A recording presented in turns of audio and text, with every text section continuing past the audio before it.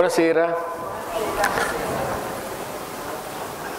Nell'antichità l'impero romano eh, ha riunito in sé una quantità di territori enormi che andavano dal, eh, dall'Oceano Atlantico fino al mare Arabico, dal Mar Baltico fino in realtà al deserto africano.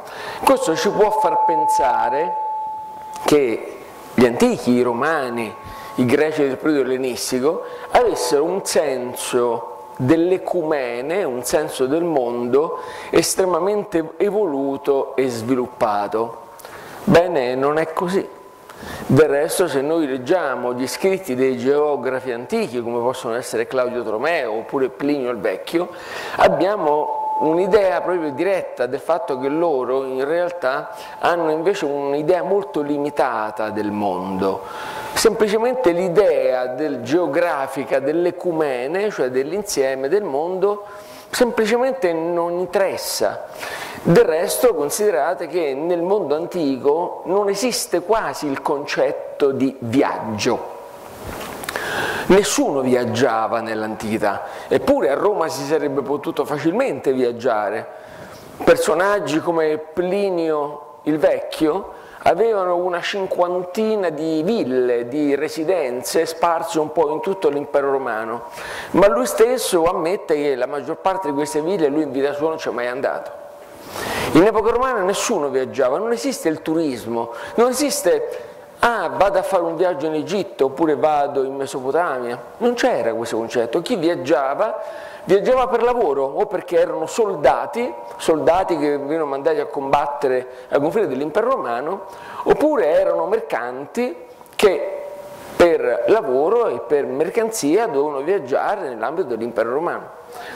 Ma era molto raro invece che si facesse un viaggio per conoscenza o per diporto. Gli stessi imperatori romani, che pure avrebbero potuto viaggiare, non lo facevano. Il concetto di viaggio non apparteneva al mondo antico.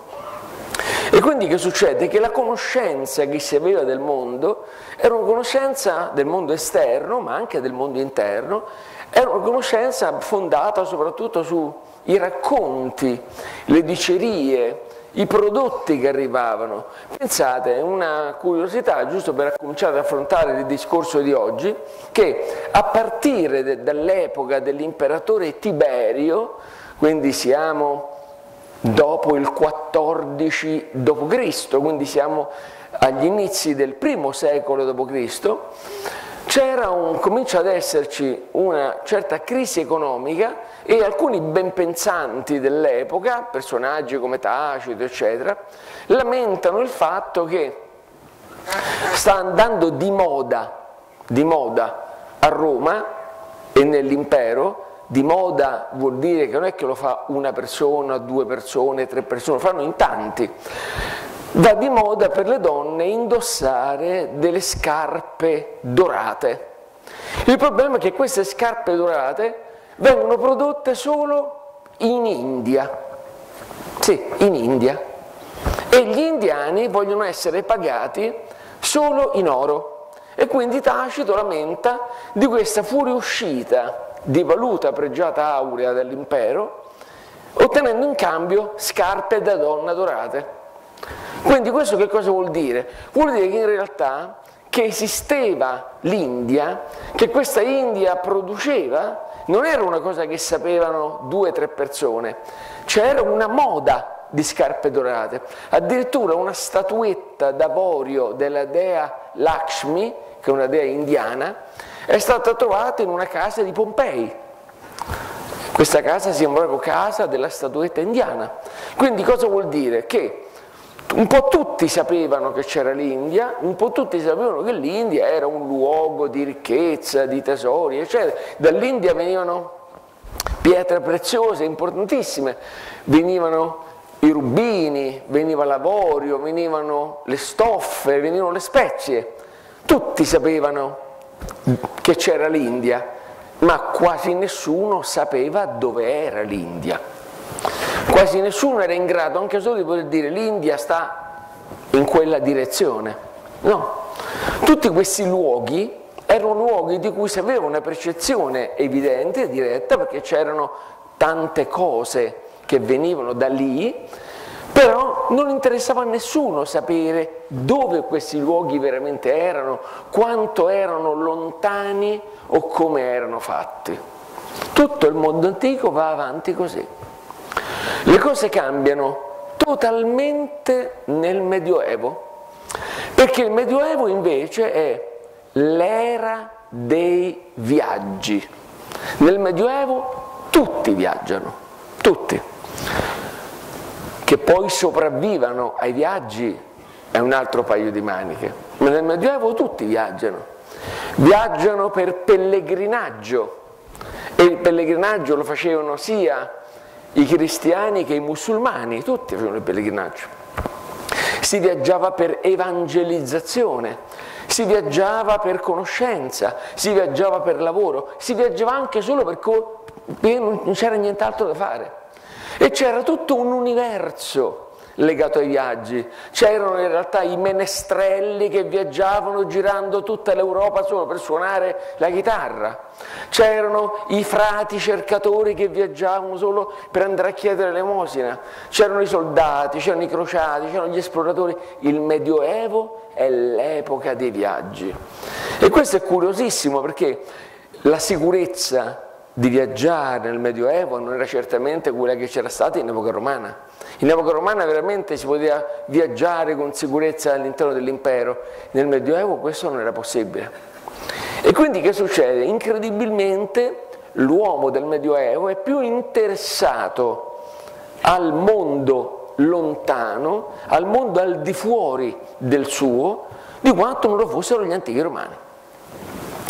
Il fatto che fossero però interessati non vuol dire che di questo mondo si avesse una conoscenza enorme, perché in realtà quello che sapevano del mondo del Medioevo era la stessa cosa di quello che si sapeva nell'antica Roma, anzi di meno, perché i mercanti nel Medioevo non attraversavano gli stessi spazi che si attraversava in epoca romana. Oggi sappiamo con certezza che gli antichi romani commerciavano regolarmente con il Vietnam, con l'Indonesia.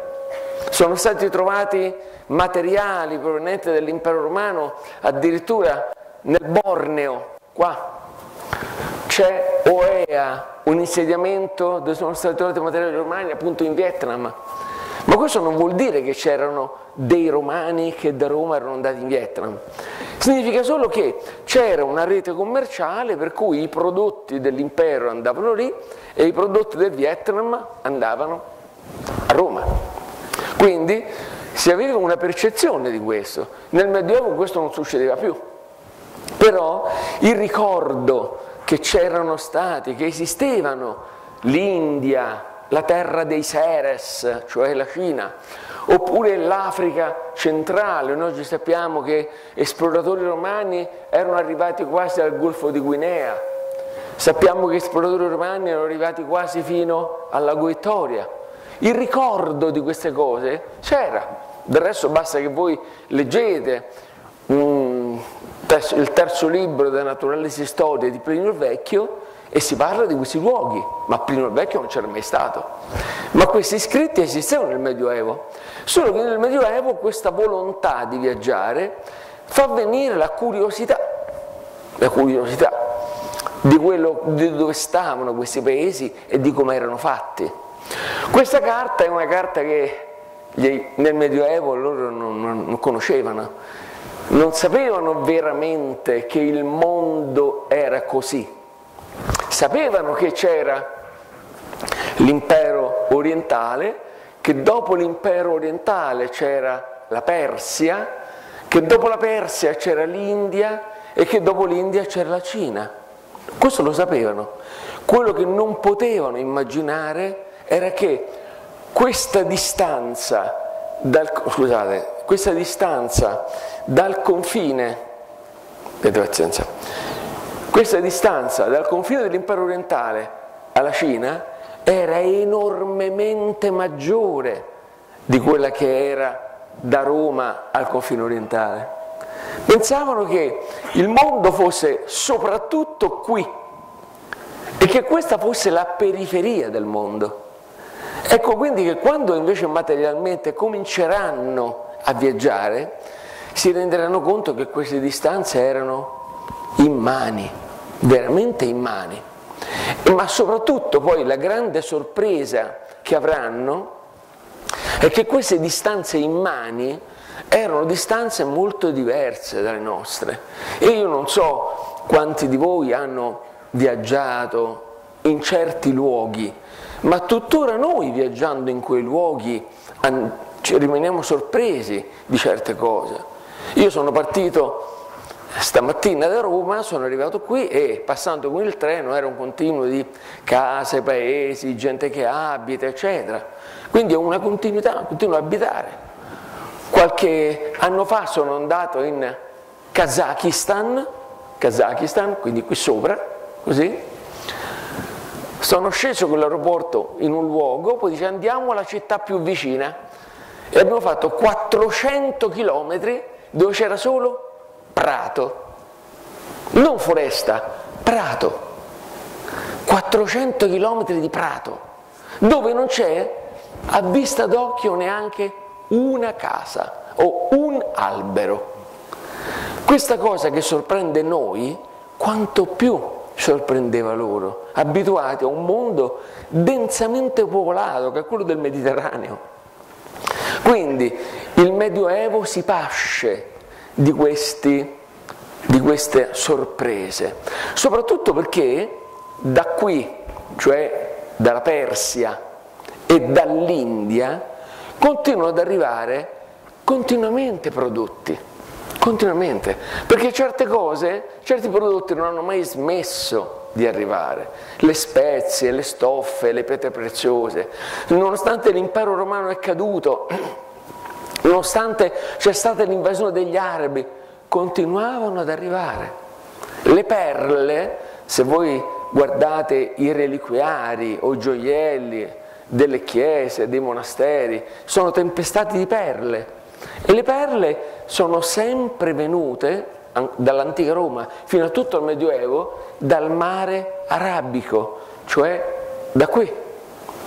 E i mercanti di perle hanno continuato a mandare perle nonostante l'impero romano non ci fosse più, eccetera. Quindi le questioni politiche non hanno interrotto questa storia, quindi che vuol dire? Che la gente continuava a vedere queste incredibili ricchezze che venivano dall'India non avevano le idee chiare, non capivano la differenza che c'era tra l'India, la Cina e la Persia, anche perché c'era tanta gente che non voleva che si capisse, cioè tutte quante le popolazioni dell'Europa medievale non sapevano veramente dove stavano questi posti e che cosa veramente producevano, semplicemente ricevevano i prodotti nei mercati. E questo arriverà ad alimentare delle leggende, delle storie strane. Per esempio alcuni tipi di frutti venivano dalla Cina, però non è che c'erano i cinesi che le vendevano agli europei, i cinesi le vendevano agli indiani, gli indiani le vendevano ai persiani e i persiani le vendevano agli europei. Quindi gli europei pensavano che questi frutti venissero dalla Persia e quindi l'hanno chiamato le persiche, ma le persiche vengono dalla Cina, non vengono dalla, dalla Persia, solo che a noi arrivavano dalla Persia. Oppure il foraggio per gli animali veniva dalla Siberia, dalla Tartaria, da nord, ma questo foraggio venne mandato agli indiani, che lo vendevano agli afghani, che lo vendevano ai persiani e che lo vendevano agli europei. Per cui, pensando che venissero dalla media, cioè dalla Persia, la media, viene chiamata erba medica, ma l'erba medica vi è dalla Siberia, non vi è dalla Persia, in Persia c'è il deserto. E questo vale per un'infinità di prodotti. Però quello che è certo è che arrivavano tutti questi prodotti così straordinari che nasce un concetto di meraviglia. L'India è il luogo delle meraviglie, la Cina è il luogo delle meraviglie, perché era un luogo dove semplicemente nessuno andava. È chiaro? Veramente nessuno, nessuno andava, hm? probabilmente non c'è andato mai neanche Marco Polo, secondo gli ultimi studi. Ci racconta un sacco di stupidaggini Marco Polo. Fatto sta che c'era appunto questo mito incredibile di queste ricchezze straordinarie, per cui loro non sapevano che il mondo era fatto così, loro pensavano che il mondo fosse fatto così. Questa è la pianta di Ebdorf, è uno dei mappamondi più antichi che si conoscano, siamo intorno al XII secolo, per cui vedete c'è l'area del Mediterraneo che è questa parte che vedete qui. Questo, questa che vedete qua, per intenderci, questa è l'Italia, questa è la Sicilia, questa è la Sardegna, questo è lo stretto di Gibilterra, quindi si entra qui, questa è l'Africa, questa è l'Europa, nel centro c'è Gerusalemme e qui giù, in questa parte lontanissima, in fondo, c'è appunto l'estremo oriente, l'India e e la Cina, anzi la Persia, l'India e la Cina. Ma poiché non si aveva la percezione vera di tutto questo come era messo, gli europei cosa facevano? Parlando di queste popolazioni, le chiamano genericamente i tartari, chiamando tartari tutti, perché non avevano idea di come erano divisi. Tutti questi popoli che erano lontani dal mondo conosciuto e civilizzato erano chiamati i tartari. In realtà noi sappiamo che c'è un'enorme differenza tra i persiani, gli indiani e i cinesi, ma loro che non avevano questa idea, questa concezione di destra, le accumulavano tutte e parlavano di queste terre misteriose che c'erano appunto in Oriente, soprattutto in Persia e in India. Mm. Eh, le, I concetti, l'idea che se ne aveva era un'idea straordinaria, perché ovviamente da lì si vedono arrivare dei prodotti enormi, questo è un dettaglio della carta e ad esempio questa è la zona della Mesopotamia, questo per intenderci è il Tigri e questo è l'Eufrate, questa è la zona di Babilonia, dove ovviamente è messa la torre di Babele, questa. Poi questa era la zona dell'India, anzi questa qui in particolare è la Persia, con vedete gli animali selvaggi, così. Questa zona qui era l'India, questo qui è il fiume Gange, questo è il fiume Indo e questo è l'estremo oriente.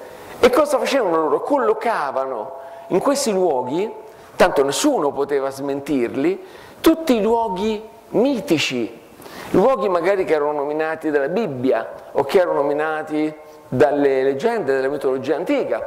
Questo qui è il monte Ararat su cui si è fermata l'arca di Noè, questa è l'arca di Noè. Questa qui appunto è l'area della Mesopotamia, vedete? Mesopotamia. Quindi questi erano appunto la torre di Babele, questa qui davanti la città di Babilonia, questa è la zona del Golfo Persico, vedete? Sinus, cioè Golfo, Persicus. E questa appunto è la zona della Persia. E loro cosa immaginavano? Quante domande eh, rimaste insolute la storia ci mette. Loro non le lasciavano insolute, le collocavano lì Tipo, dove, che fine hanno fatto i re magi quando sono ripartiti? A noi ci porta niente, sul Vangelo non ci porta niente, il Vangelo non ci dice neanche come si chiamavano i re magi. Loro invece no, i re magi non solo erano ripartiti, ma erano tornati a casa loro. E dove erano le case loro? Qui, perché qui c'era la casa del mago Baltasar, qui c'era la casa del mago invece Melchior, cioè loro le collocavano perché volevano avere una geografia chiara del mondo. E allora tutti, che ne so, il posto dove Alessandro Magno si è fermato, sì, c'era qui giù in India un altare, una pietra, su cui c'era scritto qui si è fermato Alessandro Magno. E nel posto dove Alessandro Magno si è fermato era il luogo dove, era, dove nasceva l'araba fenice, cioè una serie di miti che loro collocavano, è chiaro? Per avere un concetto di una geografia ben definita. E ovviamente che succede? Che quelle pochissime, veramente pochissime persone che per lavoro o per eh, diciamo, eh, problematiche commerciali arrivavano, non dico qua giù, ma arrivavano magari partendo dall'Europa, arrivavano qui per darsi molto tono, tornavano e raccontavano cose ancora più incredibili. Questo fomentava una conoscenza del mondo antico orientale fantastica, una conoscenza della Persia o dell'India come di paesi dove c'era una ricchezza sconfinata, dove in realtà c'erano le donne più belle del mondo, dove c'erano i, i, diciamo, i, i, i sovrani più ricchi e potenti del mondo. Questa era l'idea che a noi arrivava dell'India, della Persia e della Cina. Quello che è interessante è che se noi andiamo a vedere contemporaneamente le fonti, la letteratura indiana o cinese, ci dice che le donne più belle del mondo, gli uomini più ricchi del mondo, le case con i tetti d'oro, eccetera, stavano qua. Cioè, è sempre negli altri posti si sta sempre meglio, sono sempre più ricchi, più belli e così via. Quindi ovviamente se noi andiamo a vedere, ognuno di questi paesi fomentava una letteratura così. Eh, c'era un mercante che si chiamava Maestitianus, che forse, forse era un persiano, che va in India e si spaccia per romano. Scusate, va in Cina e si spaccia per romano. E in Cina dice che Roma era una città dove c'erano tutti i tetti delle case d'oro massiccio. Del resto, ovviamente, queste persone, millantando tutto questo, ottengono una certa fama nel luogo dove vanno, un po' come ha fatto Marco Polo, no? esattamente la stessa cosa. E quindi vengono alimentate queste storie fantastiche. Si parla poi di popoli straordinari, perché? Perché sono popoli che nessuno vedeva, erano popoli eh, particolari. E per esempio si parlava del fatto che in Persia vivevano i cinocefali o cinammoni, un popolo in realtà che aveva la testa di cane e che eh, erano in realtà una popolazione che era originaria di una città che in realtà stava sul Mar Nero, che si chiamava Cinocefale, che vuol dire appunto con la testa di cane. In realtà nessuno arrivava veramente a conoscere qualcuno così, però eh, se uno tornava ed era l'unico che voi sapevate, era andato in quella zona, e allora diceva io ho visto gli uomini con la testa di cane, chi è che poteva mettere in discussione quello che lui diceva? Quello che è certo è che questa geografia fantastica alimentava veramente una visione dell'Oriente veramente meravigliosa, hm? di gente che non moriva mai, luoghi dove appunto, questo è un particolare del cosiddetto mappamondo borgiano, è un mappamondo fatto da Papa Alessandro VI Borgia, cioè fine 1400, cioè l'altro ieri, rinascimento, non siamo nel Medioevo. Eppure guardate, questa appunto è la visione dell'estremo oriente e in questa immagine vedete qui si parla appunto che c'era il luogo da cui erano partiti i re magi, eccoli qua, vedete? Che erano partiti dalla terra di Tartaria questi che vedete qui sono il Tigri e l'Eufrate, ecco la dicitura Mesopotamia, e quindi questa è la Persia. E nella Persia c'erano il luogo da cui le montagne dove nascevano i draghi, vedete? Eccoli qui. E se andiamo a leggere le scritte, allora, eh, che appunto si dice i luoghi dove si è spinto, fin dove è arrivato Alessandro.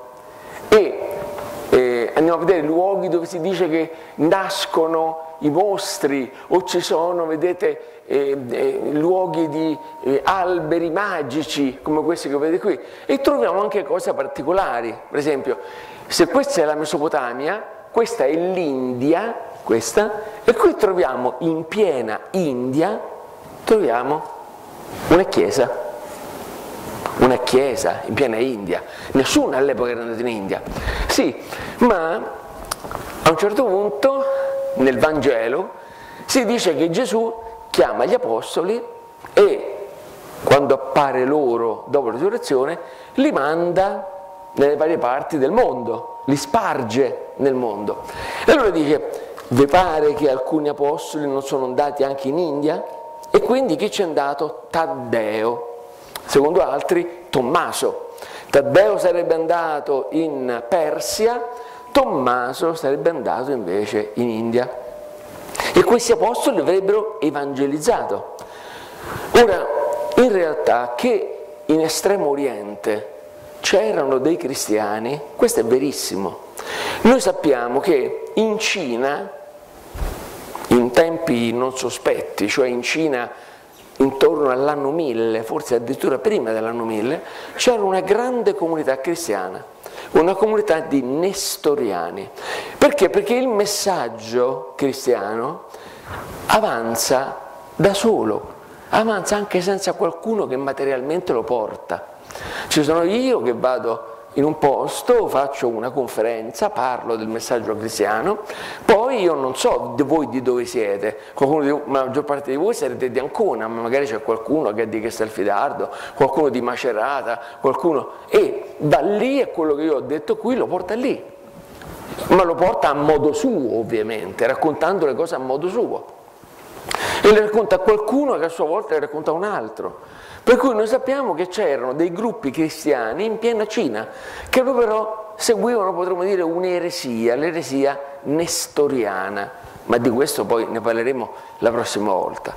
Quello che è certo è che questi cristiani ci sono e quindi spesso accadeva che dei mercanti andassero magari in Cina, magari via mare, e scoprivano che c'erano comunità cristiane e tornando in Europa raccontavano di questi gruppi cristiani e guarda caso questi gruppi cristiani in base ai racconti di questi mercanti veneravano un cristianesimo diverso o magari possedevano delle reliquie santissime reliquie che venivano comprate a peso d'oro e venivano portate in Occidente.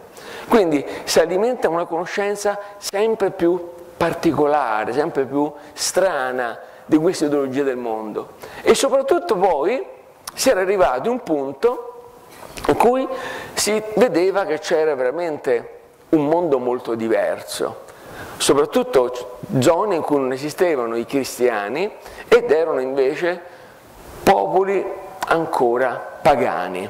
Perché quando si entrava a contatto con i musulmani, quello è il minimo, l'abbiamo visto l'altra volta, i musulmani in molti casi erano a strettissimo contatto con i cristiani, ma i musulmani erano comunque una religione del libro, cioè veneravano lo stesso Dio, avevano un profeta diverso, ma veneravano lo stesso Dio. È sempre il Dio dei cristiani. Però poi, superati i musulmani, i musulmani magari della Persia, ci si incontrava con dei popoli che erano di una religione che in Europa non conoscevano, per esempio l'induismo o il buddismo o le religioni animistiche dell'Asia centrale. E allora si era pensato che sull'orlo della Persia, che era considerato l'ultimo paese musulmano, quindi certamente in una religione diversa, ma ancora possiamo dire civile, sull'orlo della Persia esistessero una terra malvagia, quella terra che nella Bibbia è indicata come Gog e Magog, una terra dove il male era connaturato, la terra di Satana, dove l'evangelizzazione non era arrivata, dove il messaggio di Cristo non era arrivato, ma non era arrivato non perché Cristo non l'avesse inviato, ma perché era stato rifiutato. E quindi un luogo dove il messaggio di Cristo è stato rifiutato non può che essere il luogo del male. Ed è quello che sull'orlo della Persia, dove praticamente oggi diremo c'è, comincia l'Asia centrale, quindi il Turkmenistan, il Kazakistan, quelle parti lì, c'era appunto la terra di Gog e Magog. E si diceva che i persiani avevano un grande merito. I persiani, che pure erano musulmani, già poco dopo la fine degli imperi, dell'impero romano, dell'impero persiano, eccetera, avevano asservito, soggiogato alcuni gruppi di demoni, come vedete in questa bellissima miniatura persiana che vedete qui, e questi demoni erano stati obbligati dai persiani, qua, eccoli qui, vedete, costruire una barriera. Un po' come quando, vi ricordate, Trump voleva usare i messicani per fare un muro che dividesse il Messico dagli Stati Uniti. La stessa cosa era venuto qua. I persiani avevano creato un baluardo. Come mai i demoni non dilagano in Europa? Perché in realtà i demoni di Gog e Magog vengono fermati dai persiani. Eccoli qui. E quindi guardate, questi demoni obbligati, vedete, a scavare un fossato, sono imprigionati, vedete che hanno praticamente dei bracciali, hanno delle catene, così, sono imprigionati e costretti a scavare un fossato.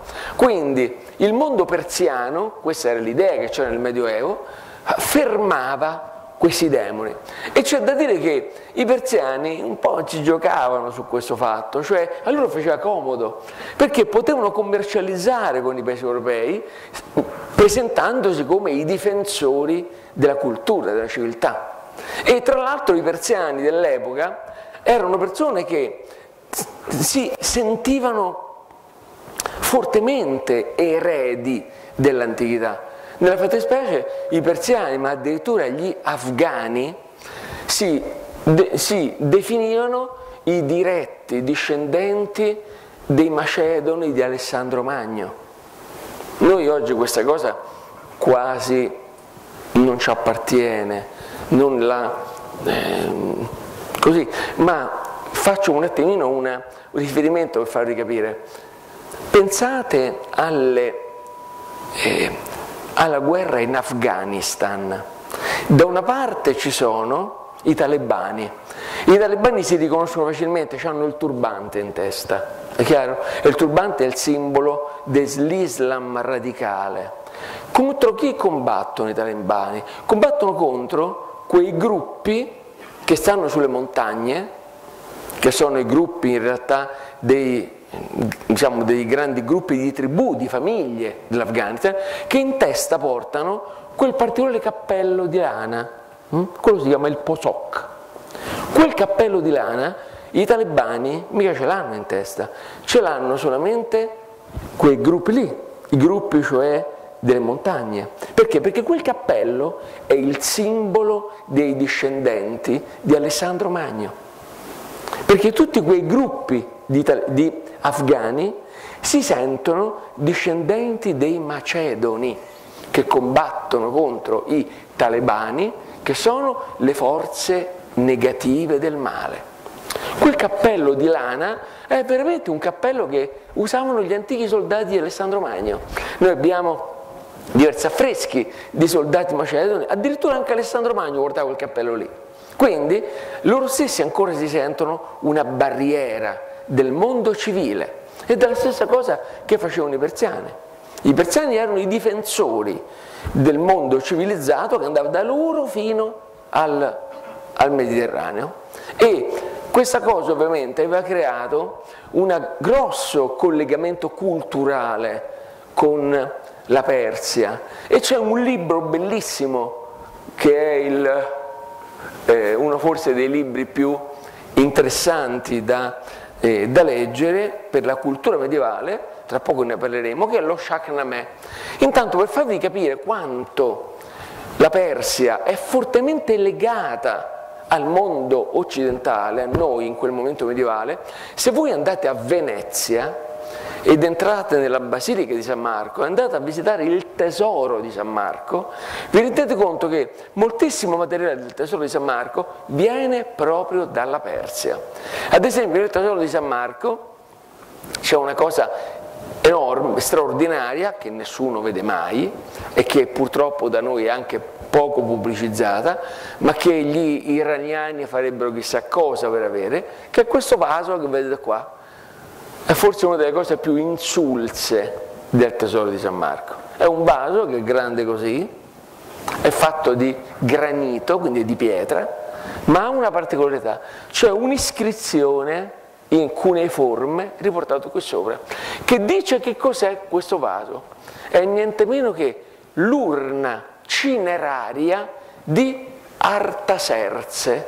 Artaserse è un imperatore achemenide persiano, il figlio di Serse, quello per intenderci che ha attaccato la Grecia.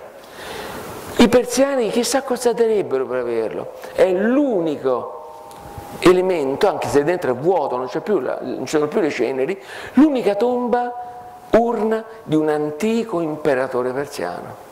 Se voi andate nella Basilica di San Marco a Venezia, sta buttato in un angolo del museo. Per loro è importantissimo, invece. E perché sta a Venezia?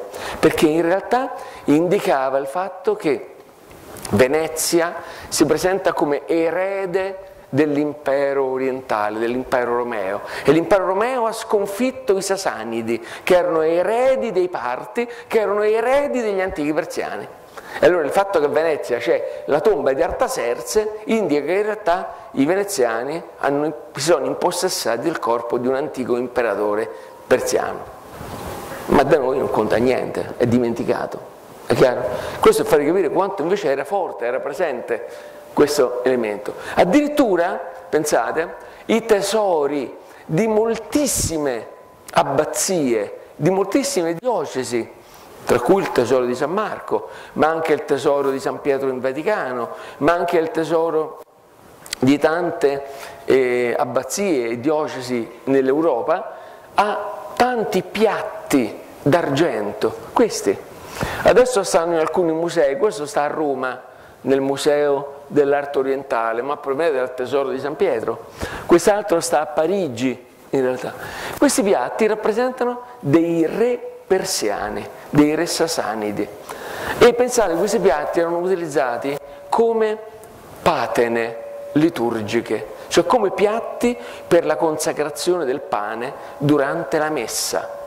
La maggior parte degli arredi sacri usati nelle chiese medievali venivano dalla Persia, perché era argento puro, erano oggetti bellissimi ed erano considerati appunto una sorta di omaggio che veniva dai confini del mondo.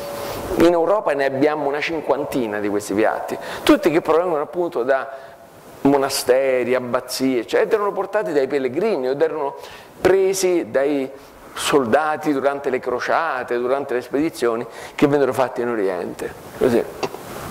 Fatto sta che questo legame era fortissimo. E noi abbiamo in realtà, questa è la miniatura che rappresenta appunto un sovrano persiano dell'undicesimo secolo, quando diciamo, lì c'erano diverse dinastie, diverse stirpi, che noi sentiamo lontane, ma che in realtà non lo erano lontane. Questi sovrani avevano rapporti costanti con alcune monarchie europee, a cui mandavano prodotti e da cui prendevano prodotti.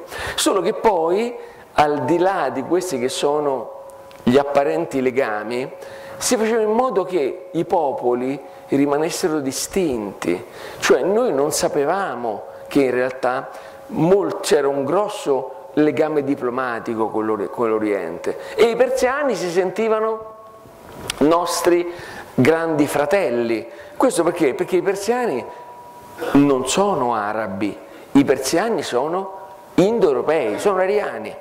Essendo indoeuropei, la lingua persiana è una lingua che ha dei tratti comuni con le lingue europee anche fisicamente i persiani sono come noi e questa comunanza era molto sentita nel Medioevo, tanto che alcuni poemi cavallereschi, tipo per esempio Guerin Meschino, Guerin Meschino, questo eroe cavaliere dei poemi cavallereschi, sposa una principessa persiana. Spesso nelle leggende si parla di questi principi o principesse persiane che si uniscono in matrimoni con principi o principesse europee. Tante storie, favole, racconti parlano di questo. E per esempio uno dei, dei testi più illuminanti, vi sto dicendo per questo, è lo Shahnameh lo Shahnameh è un poema epico veramente straordinario, noi purtroppo a scuola non lo studiamo, noi studiamo solamente l'Elia dell'Odissea, certe cose non, come non ci appartenessero.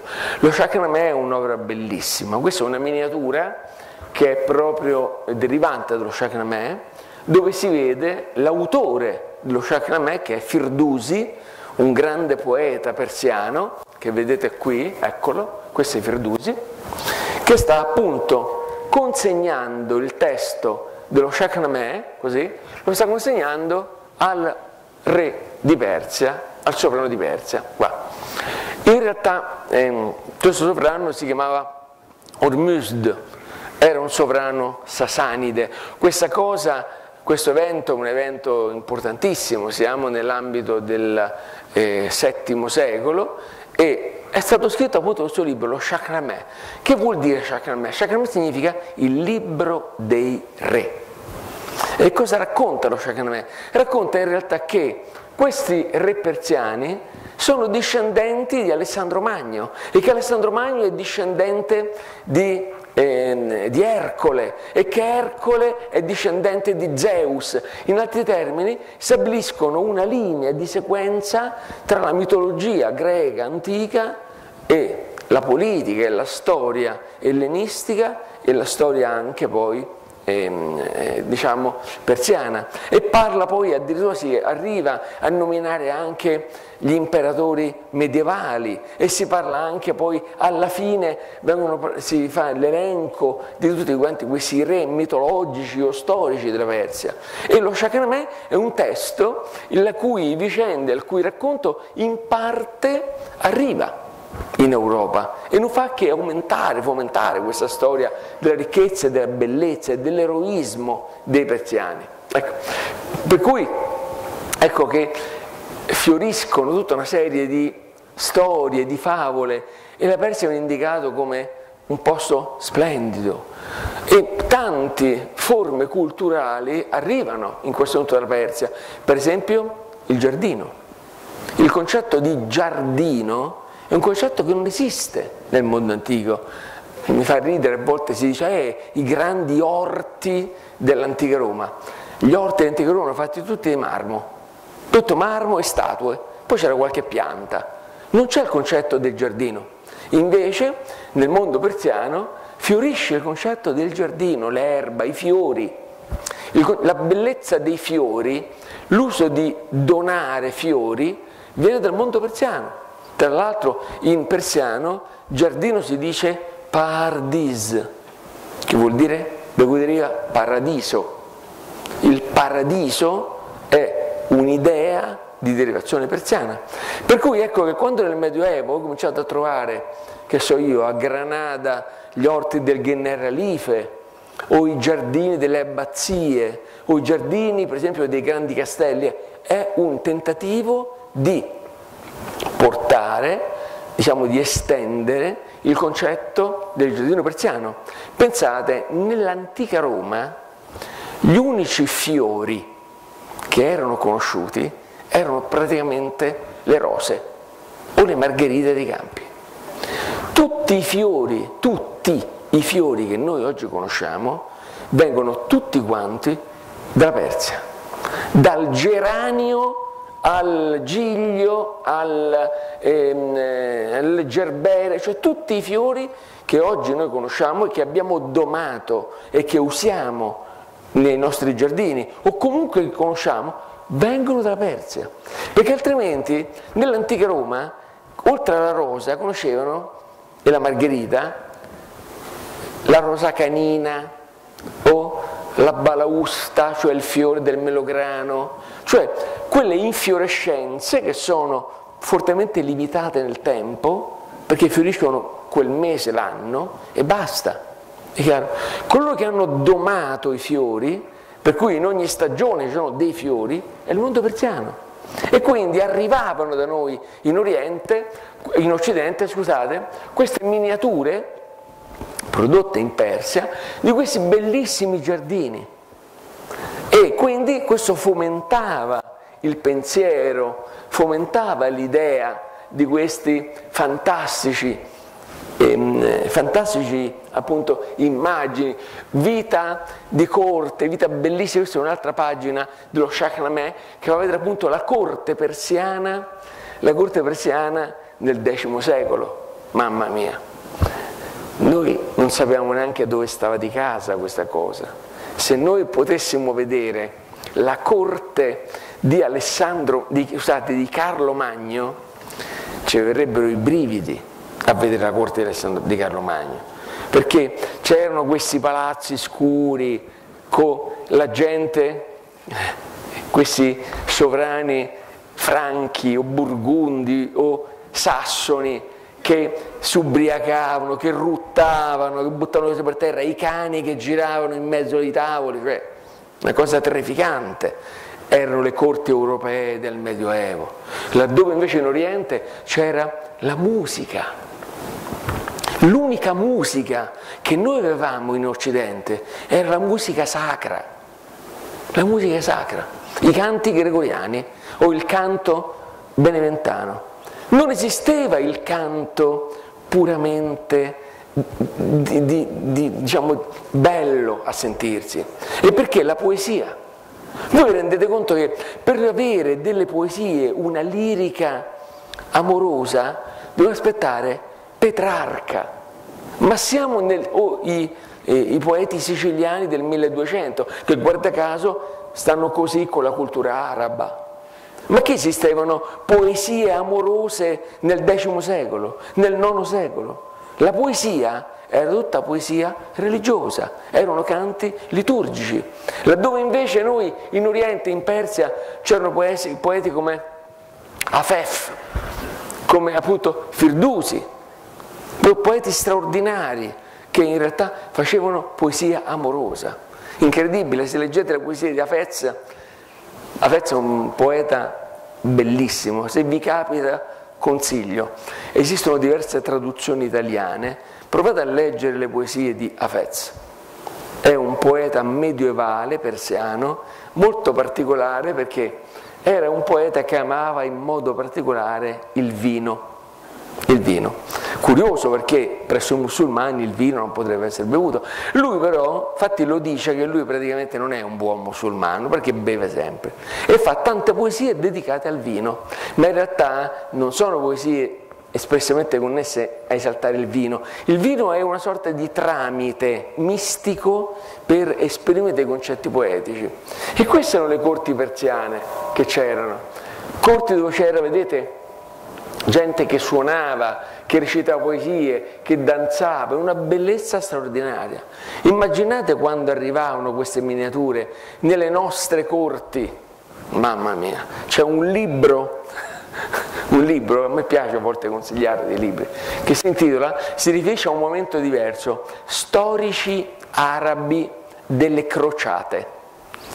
E ci sono l'episodio, la vicenda delle crociate è raccontata da alcuni storici arabi. E ci sono alcuni storici, alcuni arabi, che eh, rimangono esterfatti quando incontrano i capi crociati. Personaggi come Boemondo di Taranto oppure Ruggero di Sicilia. E rimangono essere fatti perché loro che si aspettano di vedere dei grandi re vestiti magari in abiti sontuosi, sovrani, uomini di grande cultura, rimangono essere fatti nel vedere personaggi raccapriccianti, personaggi appunto di una maleducazione incredibile, arroganti, stupidi, gretti, ignoranti. Quindi sono cose che in parte ci colpiscono, soprattutto perché il mondo orientale era un mondo straordinario, Chiaramente non tutti, non tutti i mondi erano così, ma la Persia era così, è chiaro? E le miniature persiane dell'epoca ci descrivono questa immagine veramente straordinaria, una ricchezza veramente sconfinata. Tra l'altro, e noi ne siamo testimoni in modo diretto, la Persia è un posto dove eh, l'Islam ha letteralmente fallito, cioè in altri paesi del mondo l'Islam ha attecchito fortemente la Persia, che si è presentata come un paese islamico, di fatto ha un governo islamico, ma la popolazione non lo è. Quindi la Persia è la manifestazione del fallimento delle, diciamo, della diffusione dell'Islam, perché la Persia di fatto mantiene una sua identità. È chiaro? Che questa identità, per esempio, molta della matematica che noi conosciamo, dell'astronomia che noi conosciamo, non viene dagli arabi, viene dai persiani, poi gli arabi l'hanno mutuata verso di noi, ecco, quindi questo veramente ci dà questa straordinarietà. A un certo punto eh, succede qualcosa di particolare nella cultura eh, occidentale, perché questo mito della Persia, dell'India, di questi cristiani che sono persi da qualche parte di giù, a qualcuno fa comodo. E questo innesca uno dei più grandi misteri della storia medievale. Cosa succede infatti? Siamo praticamente nel XI secolo, poco dopo l'anno 1000, si è eh, verificata la prima crociata, ma ci sono anche tutta una serie di vicende legate alla crociata. A un certo punto arriva una lettera anonima, o meglio, una lettera che non si sa chi la porta, chi l'ha portata. Questa lettera arriva alla corte dell'imperatore romano d'Oriente, diciamo dell'imperatore bizantino. Questa lettera è firmata da un fantomatico prete Gianni, presbiter Johannes, o meglio ancora Iannes. In questa lettera questo personaggio, prete Gianni, si presenta dicendo io sono il re di un enorme regno cristiano dopo la Tartaria, cioè dopo la terra dei Tartari. Nel mio regno sono prodotti oro e argento e ci sono fiumi fatti di latte e tempestati di pietre preziose. Ogni giorno mi servono a tavola come cameriere, camerieri sette re, 50 duchi e 72 conti. Io sono il Signore dei cristiani d'Oriente. Arriva questa lettera.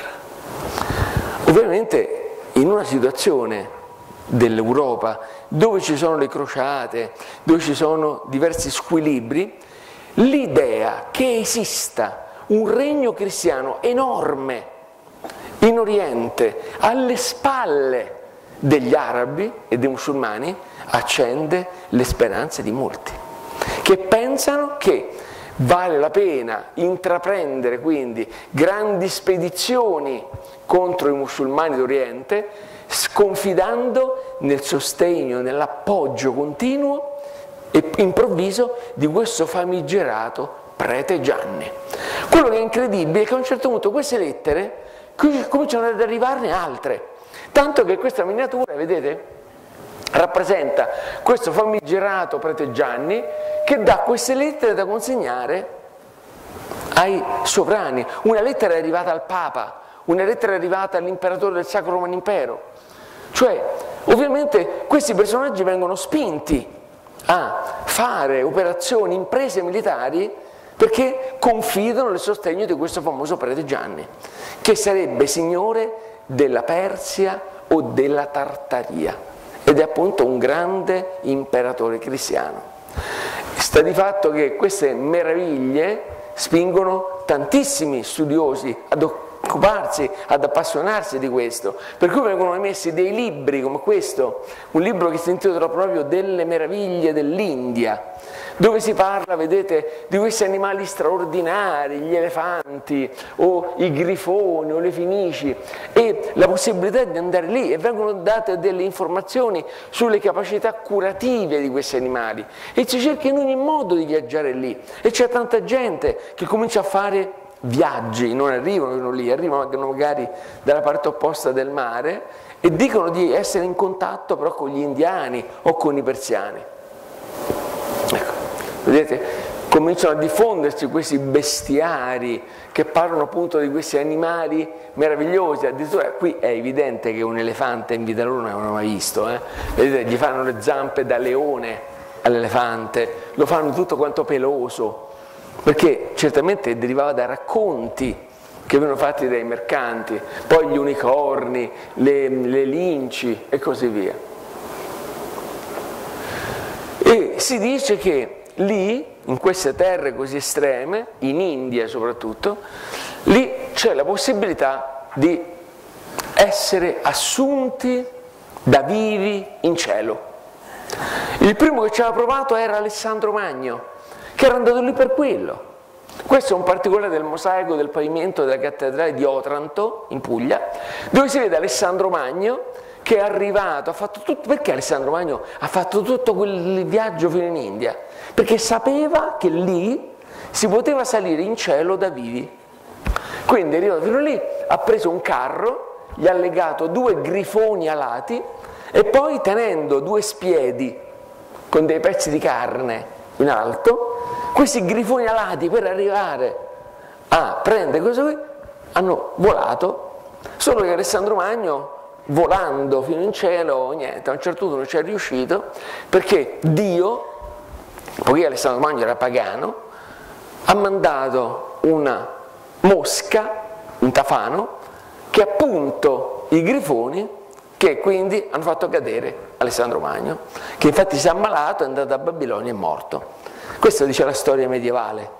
In realtà la storia del volo di Alessandro Magno è rappresentata in tantissime immagini, eppure a Venezia, nella Basilica di San Marco, c'è una formella che la rappresenta. Qui invece siamo in Francia, siamo a Vézelay, sempre Alessandro Magno col carro, con i grifoni e così via.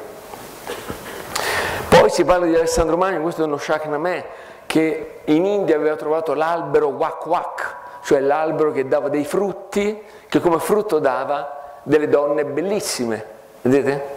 Tant'è che Alessandro Magno ha colto di quei frutti e l'ha sposata, Rossane. Era appunto questo frutto dell'albero Wak Wak. Il problema di questo frutto è che bisognava prendere queste donne quando erano mature cadevano, perché se toccavano terra morivano. Quindi dovevi stare lì sotto ad aspettare. E si chiamava Wak Wak perché queste donne quando erano mature facevano appunto Wak Wak e cadevano. Quindi, e quindi ecco, questo è indicativo di questo. Questo qui sarebbe Alessandro Magno, eh? nello Shahnameh rappresentato, vedete, come sovrano orientale, ma in realtà appunto è, è lui. Ecco. E ovviamente, ecco, in queste carte, questa è una carta portoghese della fine del Trecento, dove si vede appunto nell'estremo oriente il prete Gianni, eccolo qua, vedete rappresentato come un papa seduto, così, qui vedete Magadoro, questo sarebbe il, uno dei capi musulmani più feroci, oltre il mondo musulmano, nell'estremo oriente appunto il prete Gianni dell'India. Questo personaggio straordinario che avrebbe segnato veramente la differenza tra la storia, il mondo, il futuro diciamo, dei cristiani d'Europa e l'Oriente. Questo è un dettaglio della stessa carta, sempre con la rappresentazione appunto del, della parte orientale, da cui appunto in tutte le varie storie, anche qui, sarebbero partiti i magi. In realtà questo mondo così lontano, l'India, la Cina, la Persia, che stavano laggiù, sembrava un mondo lontano, irraggiungibile. E invece cos'è accaduto? Quando arriviamo nella metà del XIII secolo, all'improvviso una parte di questo mondo sconfina e arriva fino alle porte dell'Europa. È l'impero di Gengis Khan. Ma di questo parliamo la prossima settimana. Buonasera.